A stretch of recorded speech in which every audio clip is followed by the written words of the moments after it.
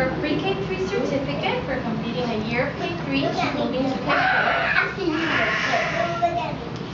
She received a bookworm because also as Jasmine,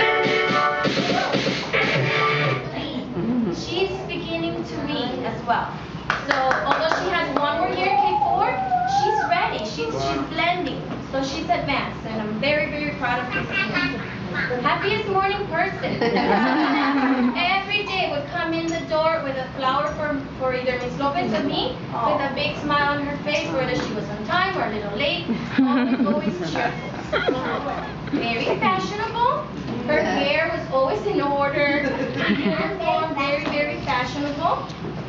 Also for being a hard worker. She never gave up. Sometimes she would tell me, I don't want to do it. So it's not about doing it, it's about going that extra mile and trying our very, very best, and she did that. For growing and improving. Because um, she came from K2 and um, the transition um, wasn't, wasn't hard for her because she already was used to the school setting. Uh, but it's different in K3 because we do a little more. And she was a very, very uh, successful pre-K and very artistic.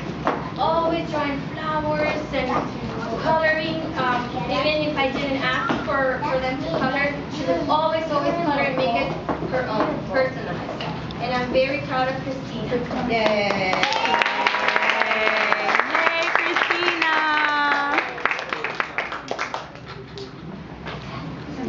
Good job.